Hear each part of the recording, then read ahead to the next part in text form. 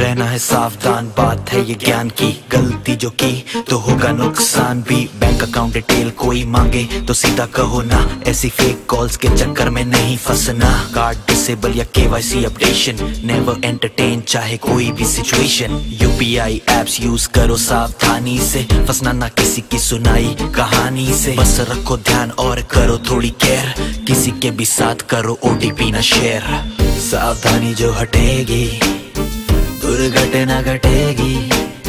सावधानी जो हटेगी तो दुर्घटना घटेगी।